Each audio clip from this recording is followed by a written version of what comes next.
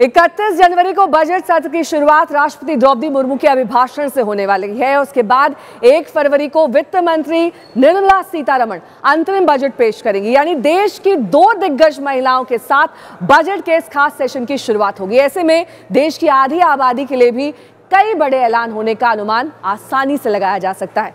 आखिर क्या मिलेगा महिलाओं को इस बजट में? देखते हैं अपनी इस खास पेशकश, गारंटी वाला बजट में।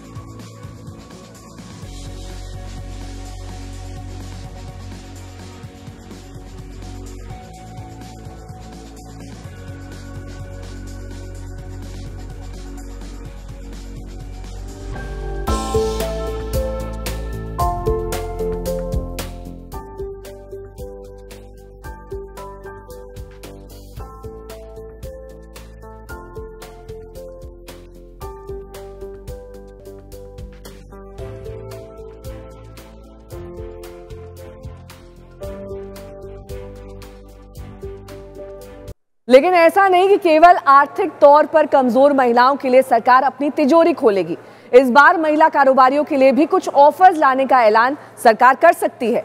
वैसे भी जिस तरह से देश में कंपनियों के बोर्ड से लेकर मैनेजमेंट तक में महिलाओं की हिस्सेदारी को बढ़ाने की कोशिश सरकार कर रही है तो मुमकिन है कि आधी आबादी की हिस्सेदारी हर जगह बढ़ाने के लक्ष्य के तहत किसी को भी सरकार मायूस नहीं करेगी।